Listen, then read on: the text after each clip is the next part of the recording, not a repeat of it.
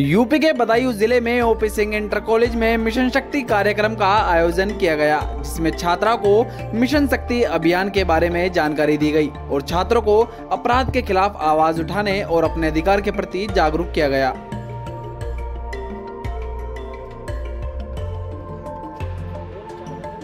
बता दें कि योगी सरकार ने प्रदेश की महिलाओं और लड़कियों को जागरूक करने के लिए मिशन शक्ति कार्यक्रम के तृतीय चरण का शुभारंभ किया है। जहाँ शुक्रवार को थाना वजीरगंज क्षेत्र के कस्बा बगरैन के ओपी सिंह इंटर कॉलेज में मिशन शक्ति कार्यक्रम का आयोजन किया गया, जिसके मुख्य अतिथि थाना अध्यक्ष अवधेश कुमार रहे।